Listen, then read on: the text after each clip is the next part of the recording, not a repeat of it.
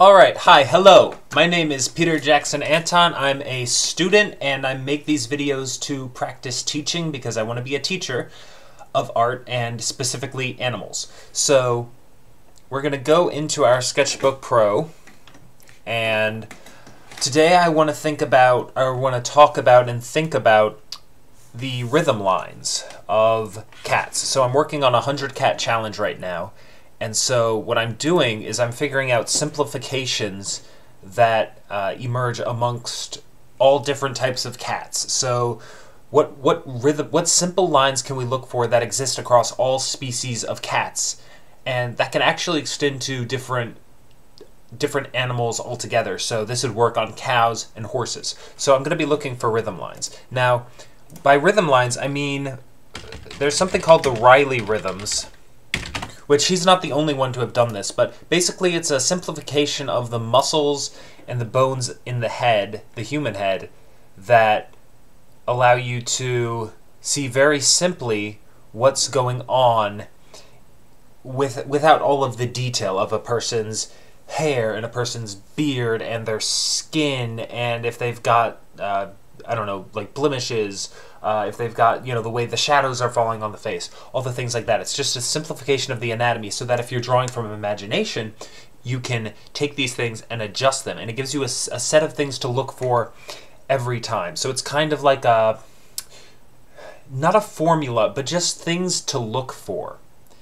It's uh, so that way you don't have to go into each head and be like well, what do I do here? I don't know how to approach it. So it gives you, okay, you can look for this rhythm line here. That might be very prominent on your model.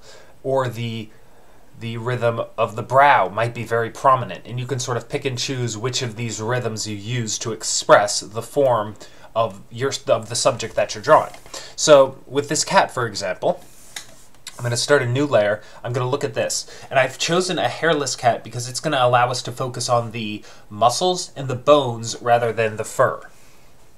So for this cat, this is very complex. Let's zoom in a bit so we can really get overwhelmed by the detail. See, look at how complex this is. If you were to draw every one of these details, you would get overwhelmed. You'd have to draw all these little folds. And that's very confusing. But if we simplify it, it's not going to be as hard. So the big shapes we could look for, we could either block it in like this. This would be the block in method, where we block it in like this. That's definitely an option. But we're going to use a more gestural method right now. So we're going to use, so what I'm looking for are the rhythms. So I see a rhythm here across the top of the head. So I'm going to draw in that rhythm Oops, that's a, uh, I've chosen the wrong, I want this, steady stroke. So I can do a rhythm here, okay? That's a rhythm I see. One of the first rhythms I go for is the brow. I go from brow to brow. And the reason for this is not just to establish the that the eyes are lining up properly and that they're not getting asymmetrical and wonky, but also to establish the tilt of the head. So if I were going to draw a cat, uh, say from a reference, and the reference is like this, and you can see in this reference that if you look at it, the brow is actually a bit tilted this way. So if I don't pay attention to that, and I just start drawing an eye up here, and an eye here, and a nose, but I haven't established that brow, I might end up drawing it like this which is wrong because this one's actually tilted a bit down to the left like this. So if you establish that brow line and that center line first, you've also established the tilt of the head.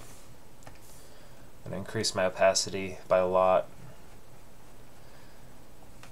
Uh, I don't want it that big. Let me go back a bit. See if that's a good weapon. Okay, I like that. So here. Now we're establishing the center line. So that establishes the tilt of the head as well. And that's important because we're going to be building upon that. Now, we also want to get the overall shape of the head. So once you've gotten this, you can either do this before or after. Just experiment with it and see what works for you. Go for this kite shape.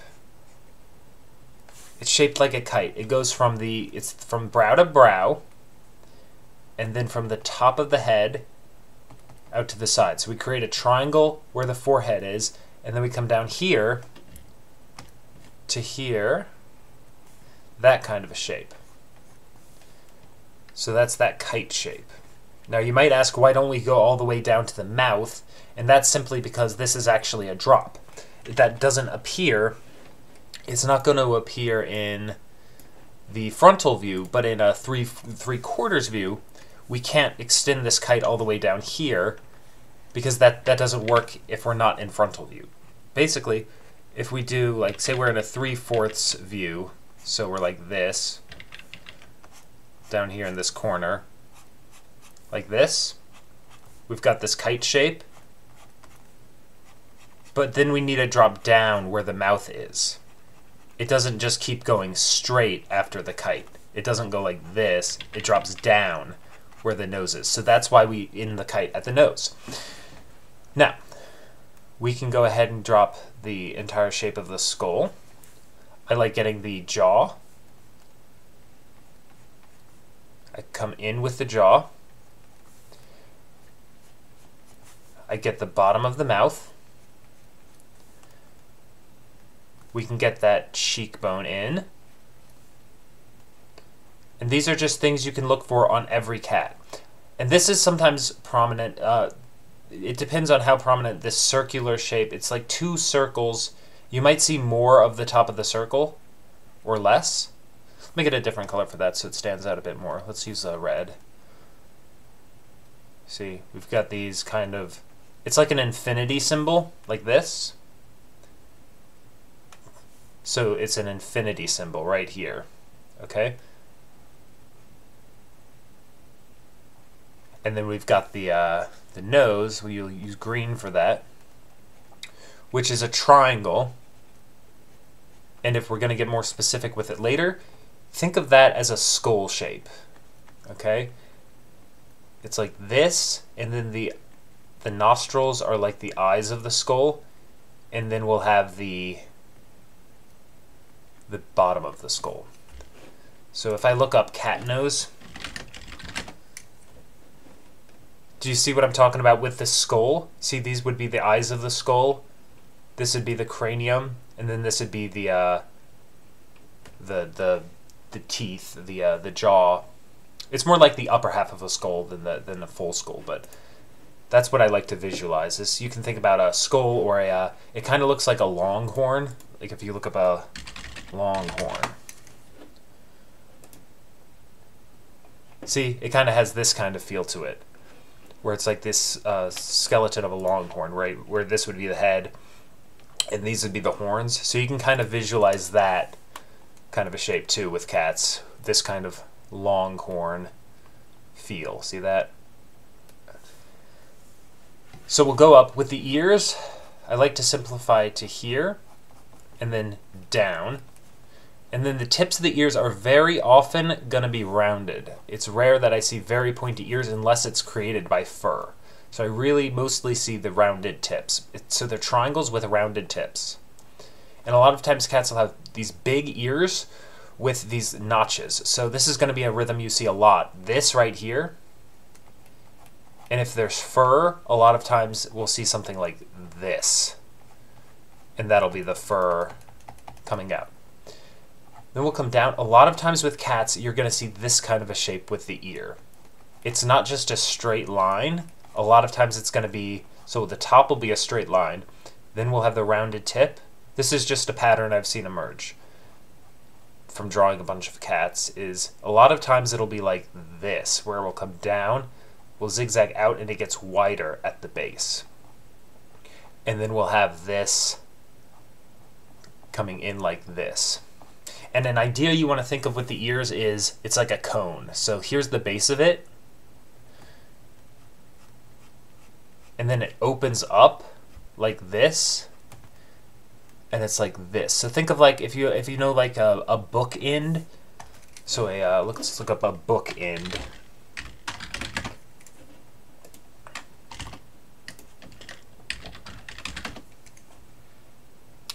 Uh, let's see if I can find something. It's kind of like these. Um, it's kind of like these, uh, like this. This is similar to what I'm talking about. We'll see if we can find similar images. So, hmm, trying to find a good one. Maybe round.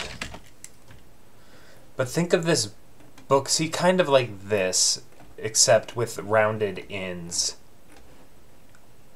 It's kind of like a lopped off circle. Yeah, I can't really find any good examples here, but uh, think of that flat side for the ear.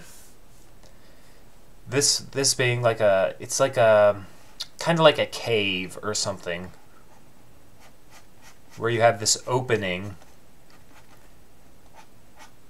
a rounded back, and then a rounded base. Okay, so we're drawing through the form here and I'm going to soften the parts that wouldn't be showing through. And the way you can remember that is think about the ears are designed to trap sound. So it's kind of like this shape. Like if you cup your hands and put them up here, these are helpful for catching the sound, right? The sound will go into the ear. It's like uh, kind of like a trumpet almost, except not projecting sound, but receiving sound. So that's a way you can think of the ear shapes. So those would be the simplified shapes that I think about. And then also the eye. The eyes are just spheres. Don't forget that the eyes are spheres. And then over those spheres, we're going to wrap skin. Okay? The skin wraps over. And now another thing to note with cats is that their eyes are very often slanted. They don't just go flat. Like in a lot of humans, our eyes will be flat. Not all humans. Some humans will have more eyes that are like this, and some humans will actually have eyes that are like sloping downwards and out like this. That are a little bit like sliding off the side of the face. Some humans will have eyes that are pointing down towards the center of the face, and other humans will have eyes that are flat. But cats have eyes that are pointed down in, in all the ones I've seen. They're pointed down. And then the skin goes over. Let me use a different color like this. Let me actually erase this and uh, yeah, so I can show you more specifically. So the eyes go like this, and I like to break it up with straight lines if I can.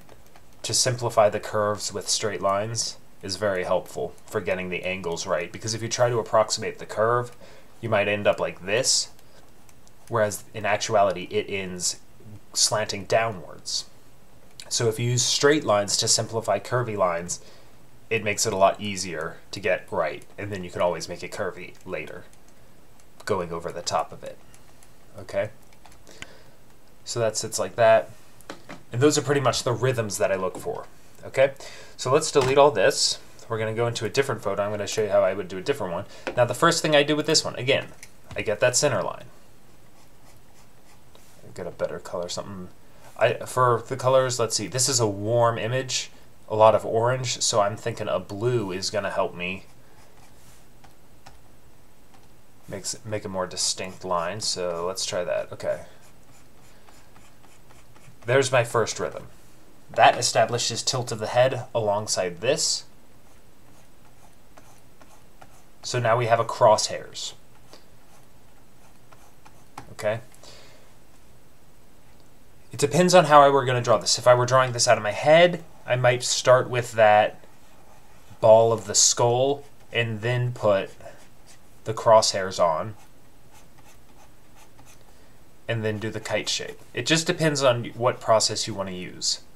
Or I might start with kind of a very gestural feel where I get the ball and then I'm like, okay, the ears come out like this. I could start with a gesture and then I'll go like this and then I'll get that crosshairs here, and i am starting a much looser, getting the eyes here, getting the triangular shape of the ears, like this, and I'm just getting the gesture, and I'm getting a sense of movement, and then I'll go in and work out all the details of like the eyes after I get that loose, loose feel to it, but Another way you could work is to block it in with straight lines. If you're doing a longer drawing and you're blocking in the shadow shapes, you might want to block it in with straight lines like this. Get all the shapes working with straight lines. But that's beyond the scope of this video. In this video, I really just want to talk about the rhythms that we can look for. So that those are two rhythms, and these will work on any animal. Always you can find those crosshairs. You can also find, as long as you're able to look at the face, you can do this rhythm, which is the kite. This will work in three quarters. And then we go down to the top of the nose. Here. And actually, if you want to, in cats, you could actually change this kite shape to something more like this where we're coming down from the top of the eye to the nose. See if we can find something more, yeah, offensive to uh, make this more visible. Yeah, see? This kind of a rhythm. Do like that. Because a lot of times a cat on this one is going to feed like this. We're going to get this sort of a feel. It's almost like a flying V, where it's like up, down, up, down. So you can either go like this and get this type of a shape, or it's a lot of it is personal preference because this stuff doesn't actually exist. It's just uh, it's it's how you see it. So some people might see it one way, other people might see it another way. So I'm going to go ahead and do this flying V shape simplification, where I take this flying V right here, come to the center line, go up, out, and get the other wing. So that's the flying V, okay? And then, if we can soften that up, so we can work over it, we get that flying V, and what that does is it ties it back into the center line, and then we can just grab the nose. Maybe we tuck these in. A lot of times we'll go from the corners of the eyes, like right here, down to here. That tapering is very distinct in cats. We taper here. We get that another little V shape here. Cats have a lot of triangles in their design, so when in doubt, think triangle shape. There's, it doesn't go straight so look, look, here's a good distinction. The mouth is not like an X, right? It doesn't go from nose to mouth like an X. It's more like an hourglass. So, what I mean by that is, let's look at this. We're going to zoom in. Doop. An hourglass shape. So, it's like, here's the top half of the hourglass.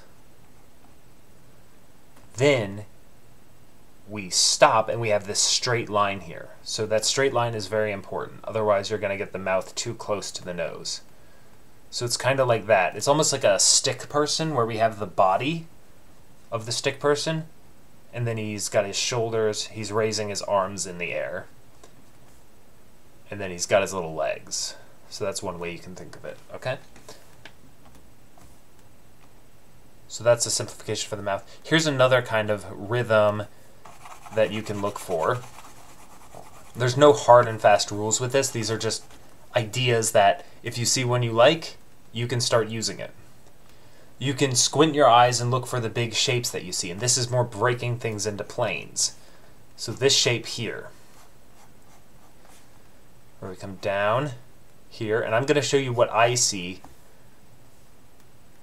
and then if you if you want to look for these shapes, you can. If you're if you're like, I don't think I'll remember that very well, then then you don't have to.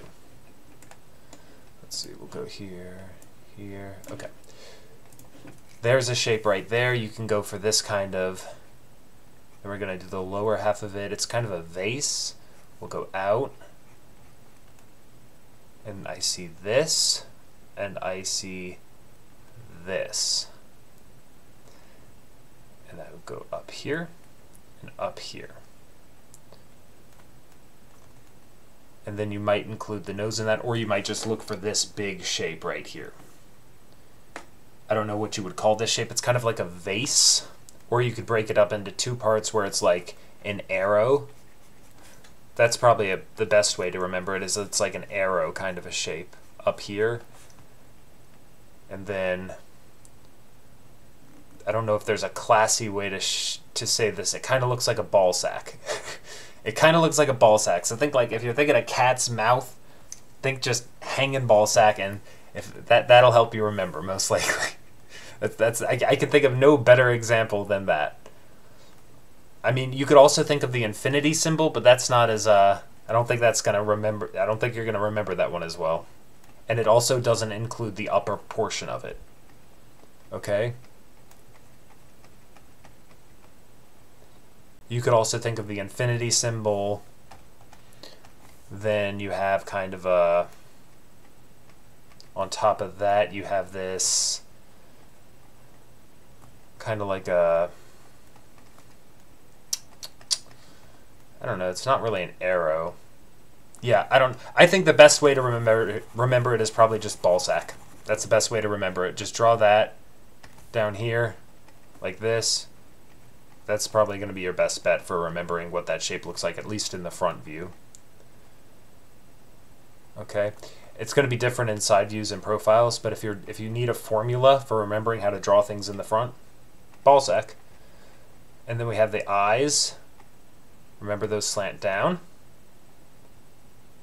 And the pupils, a lot of times, it varies. Some I've seen are more round. Some are just lines a lot of times it's interesting. The eyes will usually point in, right? They're not up, straight up and down, right? Look at that. The eyes aren't straight up and down here. They actually point in towards the center of the head. So just remember that. And so this is another rhythm, would just be the connection where the ears connect, the angle at which the ears connect. Another thing to look for is a lot of times with fur, the top of the head is going to look flat. Sometimes it'll present more like this. That'll depend a lot on the fur. It might be a peak. It might be a flat line. It really depends. Okay. So those are pretty much the rhythms I would use here. Again, we can see in the ears, these ones are less pointy than the last model we had, but they've still got an overall triangular feel. They don't widen as much at the base, like they don't have this pattern at the base. They have this, and then they go in like this. See, whenever I can straight simplify to a straight line, I like to, because it just helps me understand it. It gives a very definitive break. If you've just got a bunch of curves, it's hard to figure out where the corners are and where things turn exactly. Whereas if you if you have straight lines, you can be more decisive and figure out where the corners are which helps you light forms. Okay. A lot of times also when you have a cat with fur, the connection with the neck is not very distinct. See, on this hairless cat, we have a very clear sense of this is the head and this is the body, right? We can see that very clearly.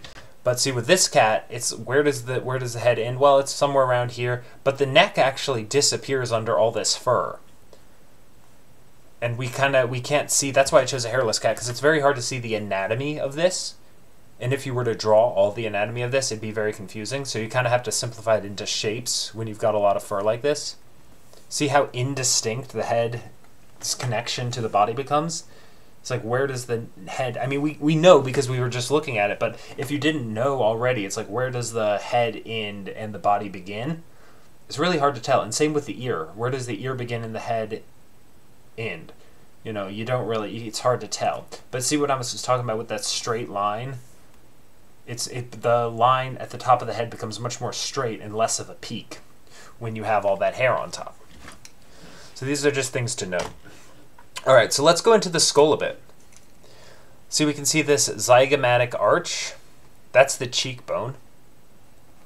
Right, and then we go all the way around. We wrap around to the cranium, this connects to the cranium, this part right here.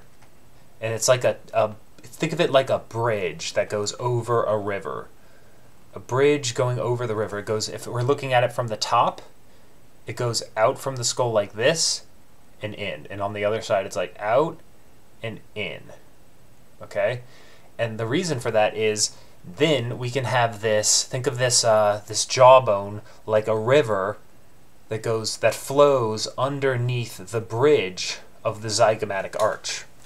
And then the hinge for the jaw is around here. So it hinges here, and then it opens out like this, and here would be the, the, the jaw opens like this. Think of like a treasure chest opening, okay?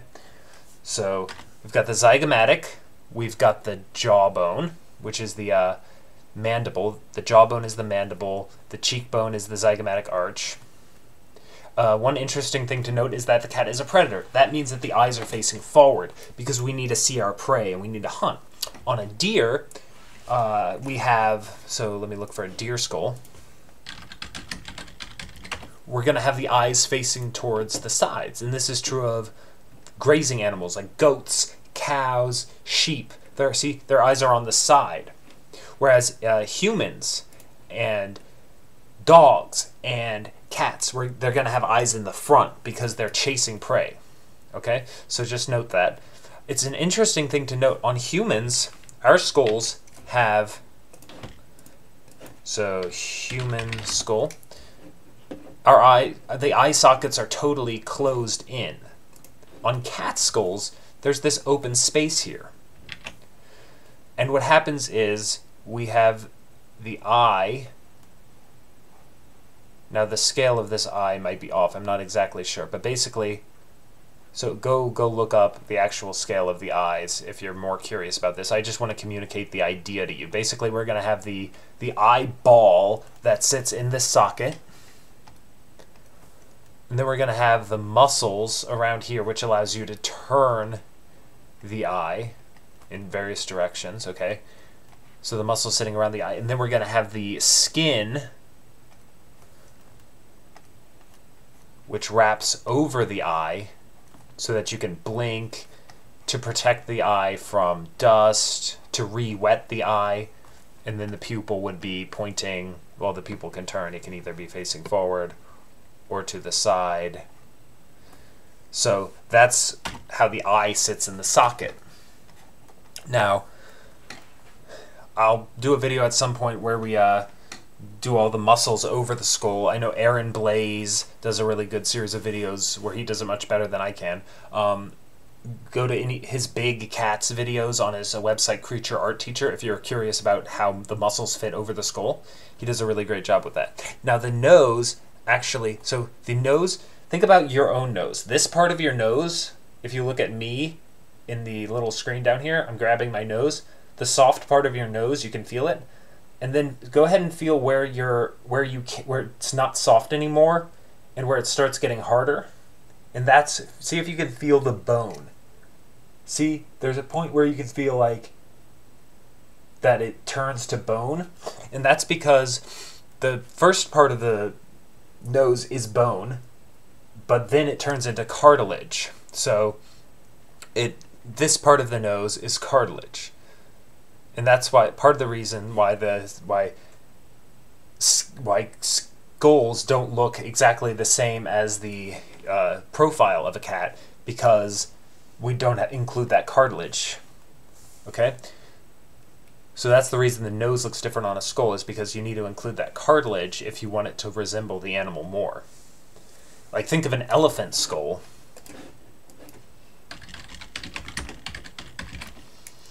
and an elephant skull, see that? Well, where's the trunk? Well, the trunk attaches here to the bone, okay? That would be a more extreme example. Alright, so that's pretty much what I want to cover with the skull. This would be, this ridge is where muscles of the neck attach. Here, down here, is where the spine would attach. Uh, we've got the, see, look here, See how the teeth are deep embedded in the skull? And we've got this rhythm that goes down here from the tooth. In dogs, a lot of times you'll have a rhythm that goes... I actually don't want to cover that. But there's a rhythm in dogs where it drops down very heavily. So sometimes the rhythms of the skull are very useful. I think in cats, this rhythm of the canine tooth is really helpful. And this sweeping of the jaw this sweeping of the jaw outward can be very helpful. This feeling of the brow. Note that the shape of it is very elongated. It's kind of like a... Think of a good shape that will help you remember this. I like to think of a football for cats. I'm just going over and I'm getting a feel for how these shapes work, how they attach, how they flow. That's really the point of today's video, is just getting a feeling for the flow.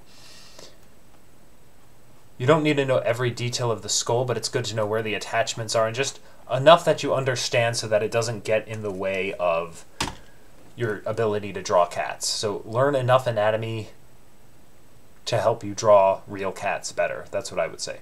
And if your understanding of anatomy is hampering you, go learn more anatomy. But you don't need to learn everything about anatomy. There are plenty of artists who don't know very much about anatomy who just are really good at drawing, so they don't need to learn anatomy. So know, learn as much anatomy as you need to. Now this is the lower jaw. It goes, so that from above it would be like this. So it's a triangle shape. Just like our jaw, if you look under here, it's a triangle shape. It starts out wide and then it tapers in. It's like the the like a boat, like the bow of a boat or a canoe. Think of that kind of feel. And then here, here's where it would attach to the skull. Here's the hinge. And then here, right here, these the peaks of it, those are what go underneath the zygomatic or the cheekbone. Oops. Turn on. There we go. Okay. And we'll turn off that layer. I just want to give you some understanding of the skull. So look at this. Look at this smooth arc. It's very smooth, right? That's why I think football shape. Because look at how smooth that is. It's like it's almost like a a a bun, like a so a bun. Yeah, it's kind of like a bun from the side. See, it's like this shape. It's like if you look at a hamburger bun from the side, profile view, think just hamburger. That's kind of the feel. Whereas opposed to a dog, it's very different. It's not like a it's not like a hamburger. It's much more rigid. See, with a dog, look at this. You go out, down, out, down, out, down. Well, actually, so in the skull, the dogs would be out, down, out, down. But when you have the, uh, on a, not a skull, but an actual dog, it's going to be out, down, out, because we're going to have the nose. See? But on a cat, it's much more like this. And if we were on an actual cat, it would be tilted down more, so it, it'd be more like, you know, this, this. If we were a cat, an actual cat, it wouldn't be just looking at this weird angle where its eyes are up like that, most likely. It could happen, but it's probably going to be tilted down more like this. So it's going to be have that kind of feel to it. So we have that. But then again, it's the same stuff we were talking about. It's kind of like we loop around. This flows in over here. It's kind of like a cane shape. So you're a question mark kind of a feel. We have this jaw, which loops around here. And it's good just to get a feel for this stuff. This wraps all the way around here. And just get a feel for these rhythm lines and see what emerges to you as important. And these will help you simplify stuff and draw it from imagination, right? Because if I draw this, you know, if I, I lay in a cat from imagination, well, then I don't have to memorize every detail. It's just like, oh, I remember that feel was kind of like, and maybe I want to draw a rounder and fatter cat. So so if I want to draw a cat skull, I'm just like, okay, it was kind of like that. It was kind of like that. Or maybe I'm designing another creature, but I understand the rhythms of the skull, and then I can manipulate them. And then I can design my own kind of skulls. And maybe I want to elongate the canines. Maybe I want to wrap around here. And I remember these rhythms. And then you work out the details.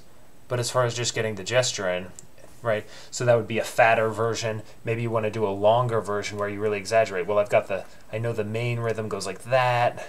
I know it goes, and I want to elongate it, so maybe I go like that. I know this man, the, uh, yeah, the mandible rhythm goes like that. The jaw goes like that. Upper teeth go like that. the question mark. I remember there was a question mark kind of a shape, so I can go like that. And then I have the I, I need to have a place for the muscles to attach, so I'll go like that, and the spine. So see, you're kind of just getting even just a, a feel for, and obviously this isn't worked up at all, and you'd need to figure out the more the more specifics. But you've got a, a, a feel for a skull that you it gives you a place to start. These rhythms do. So, and then you would work this up. Okay, so we'll go into the next one. And see, this is just to show you how this hinges up. See, we've got this rhythm down here. The rhythm of the jaw. We've got the rhythm of the zygomatic, okay? It's like a bridge over the, the uh, lower jaw, remember. Now you can see the canines going like this. You can think of the rhythm line when the mouth is open. Think of the rhythm line going from tooth to tooth. So that way you make sure they're lined up properly. When you're doing like that, think of kind of like Pac-Man. So you have a circle and then his mouth is open, right? Like that. And then these would just be the teeth, and then you can just erase out the middle. So just think of like Pac-Man when you're thinking about the rhythm from tooth to tooth. And then look at how the socket of the eye changes when you're looking up at it.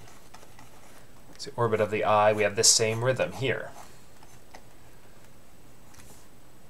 And then what understanding the bones, the skeleton, does for you is it gives you a sense of what's going on underneath the skin.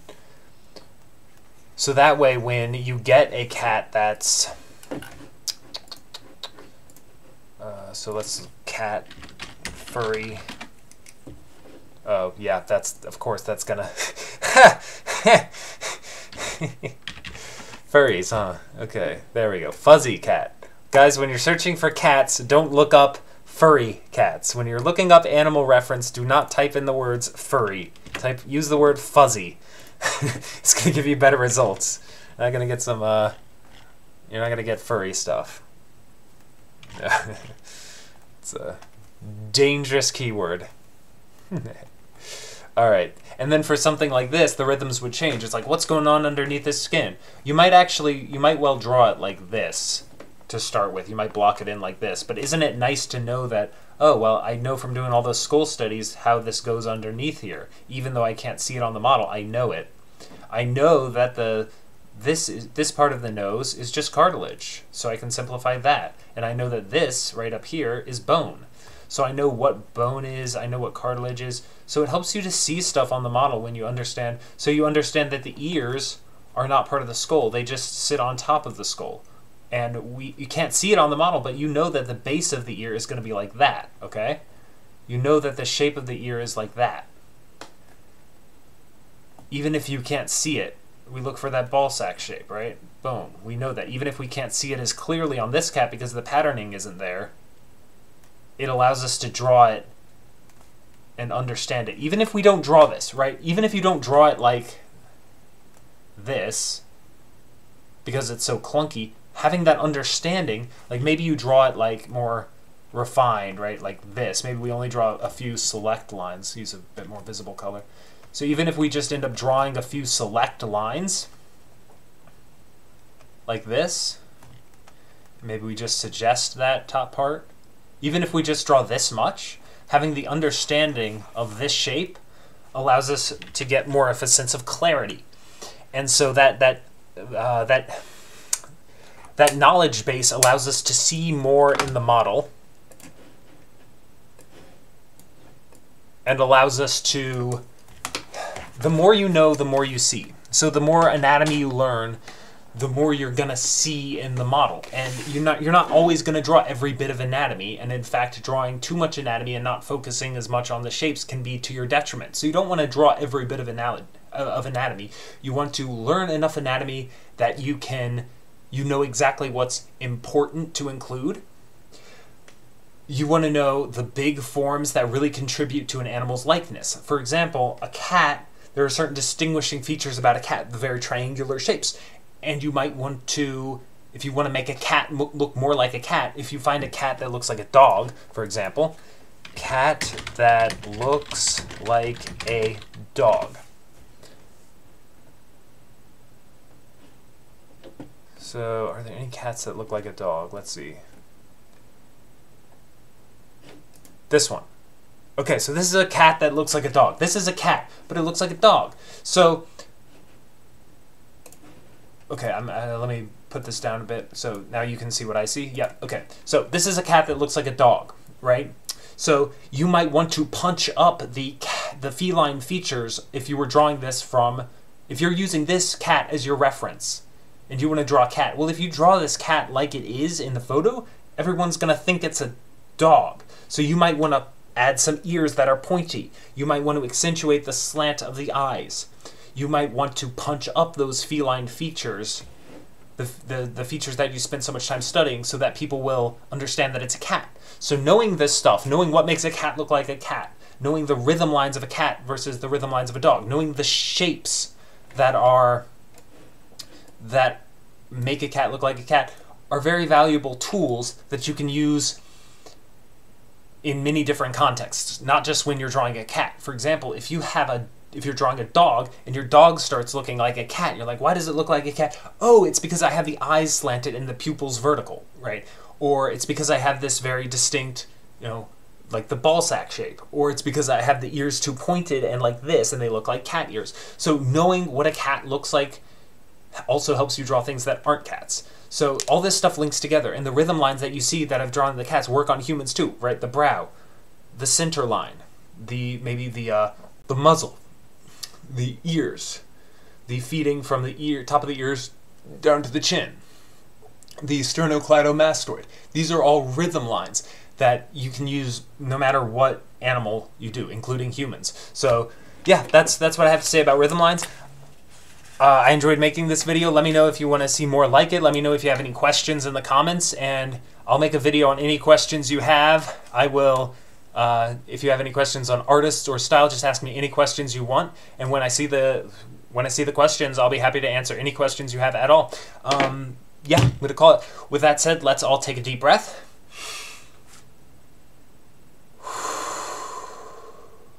And let's go draw.